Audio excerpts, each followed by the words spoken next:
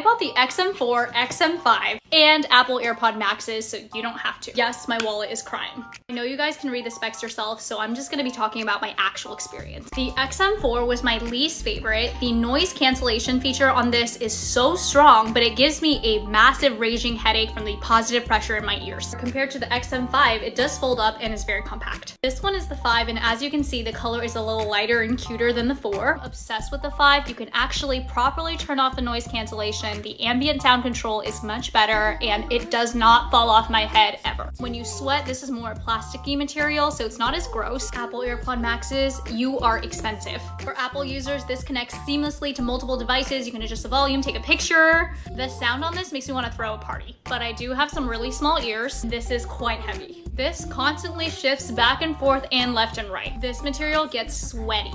If these fit better, I would have kept these, but I'm probably gonna go with the XM5. Let me know what you guys